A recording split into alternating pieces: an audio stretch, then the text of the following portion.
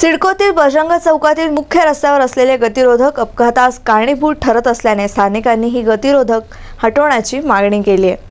शहर स्वच्छ आणि सुंदर ठेवण्याचा दावा करणाऱ्या मनपाच्या दुर्लक्षामुळे शहरातील रस्त्यांची दुरावस्था झाली. शहराच्या विविध भागातील मुख्य आणि अंतर्गत रस्त्यांमध्ये अनेक खड्डे झाल्याने शहरातील वाहनधारकांना आणि सर्वसामान्य नागरिकांना नाहक मनस्ताप सहन करावा लागतोय.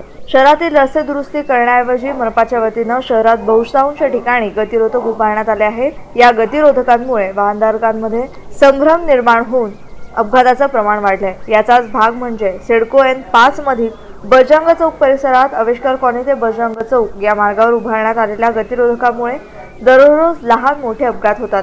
रस्त्यात उभारण्यात आलेल्या गतिरोधकाचा सूचना फलक नसल्याने वाहनधारकांची दिशाभूल होत आहे. परिणामी वाहनधारकांचा तोल जाऊन अपघात होत आहेत या अपघातास कारणीभूत ठरत असलेल्या गतिरोधक त्वरित हटवण्याच्या मागण्यांविषयी परिसरातील नागरिकांनी एमसीएनशी बोलताना व्यक्त केली आहे बजरंग चौकात अपघातास कारणीभूत ठरत असलेल्या गतिरोधक हटवण्याच्या स्थानिकांच्या मागणीकडे मनपा प्रशासन लक्ष देणार का? हे तर येणारा काळच सांगेल.